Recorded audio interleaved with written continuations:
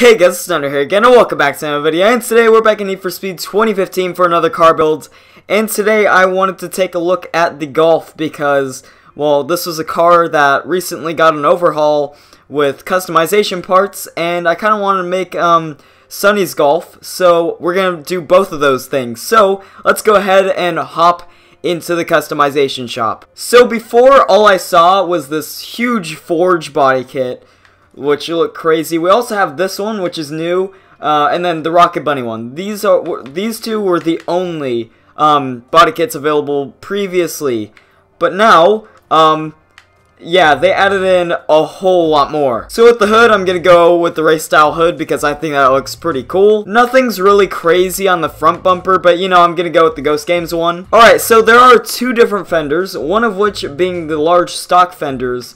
The other one is restricted, but it's only because we have extended bumper version 2 equipped. However, if we uh, install just the extended bumper version 1, we could put some large fender flares. C come on. We'll also do the same to the back. And then we'll also add another extended bumper at the rear. And with the exhaust, we have a little bit of a list here. But the ones that caught my eye the most were the dual exhausts. Because I thought these just looked really, really cool. And one other thing we forgot to do was change the headlights. Um, I was completely unaware of this, so we have an intake light, and then we also have taped lights, and, uh, no, I, I don't really like that. I don't like the green tape. So I'm just to keep the headlights stock. So after looking through the rims for a little bit, I think the SSR MS1 rims look the best in my opinion. So as I look through the calipers, the Brembo small calipers are already equipped. We have some endless ones, some StopTech ones, some Wilwood ones, and that's about it. However, I think we also have the large brake caliper from Brembo, and I think I'm going to go for this because I just prefer this one over the smaller one. And honestly, on this car, the brake discs already look really nice, but I want to give the forged grooved brake discs a try. So we have three different vinyl wraps to choose from. So we have this one, we have the Sonny one of course, and then we have that one, which looks basic as fuck. But come on, do, do you really think I would go with the other two? I mean, come on, we're gonna go with the Sonny one. Alright guys, so now we're in free roam, and we're alongside of a Silvia, who just decided to, you know, just pop up next to me. And look at that, he's spitting those flames, those his exhaust pipes are producing more fire than my mixtape. Oh, what a pussy. You declined my invite. Okay, fine. Run away, you little bitch. Alright, so now we're doing our first race in our beautiful Golf. And I mean, I'm just gonna say it again. The vinyl on this car looks really, really nice. Like, everything is so accurate. Um, you know, minus the rear end that shows Speed Hunters instead of Kenwood, since I don't think they have the Kenwood license.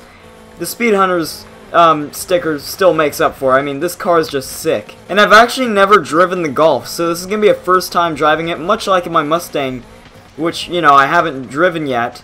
In this car, it's it's a little grippy. I don't think it was designed to go this fast, obviously. I don't know, it just, it feels a little weird to drive. Like, it just, it's like, come on, don't push me this hard or else I'm gonna just spontaneously combust. And yeah, I think one of the only reasons why is because, well, obviously, you know, this car isn't designed to go this fast is, well, one of them.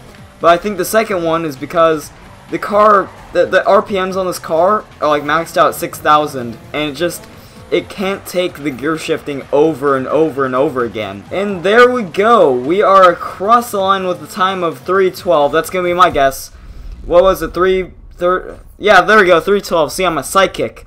So, we finished that race, so let's go on to our last race of today. And now we're doing our last event of today. We're going to do Sarkodie Speed because I think this car suits it pretty well since it's kind of low powered in comparison to some of the other car builds I've been doing. But no, this thing just pulls right off the bat and just instantly gets first place. I probably picked a race that was a little too easy and I think I fixed the problem just a little bit to where, you know, the car instantly shifts up instead of, um, you know, it just staying at 6,000 RPMs and just it keeps redlining. So I just went to the garage and I just changed my differential and I think it just fixed the problem. It definitely fixed the problem, but it just happens when I'm going at high speeds like this because, you know, it's kind of near the top speed. But yeah, this car definitely does pull. It's just, it's really slow around some corners like that one. I just went around that like 55 miles per hour. I guarantee you, if I were a traffic car, it would probably overtake that Golf around this corner. And here we go, around this corner.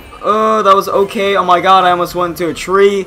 That would have been really bad. We just have a little bit of the race left to go. And I don't know how far ahead we are of everyone else in the race. But there we go, across the line. Could have definitely done a lot better. 220 is kind of a shitty time. But, I mean, other than that, if you guys did enjoy this video, be sure to leave a like and suggest any car you guys want me to build in the comment section below. And I will see you guys next time. Goodbye.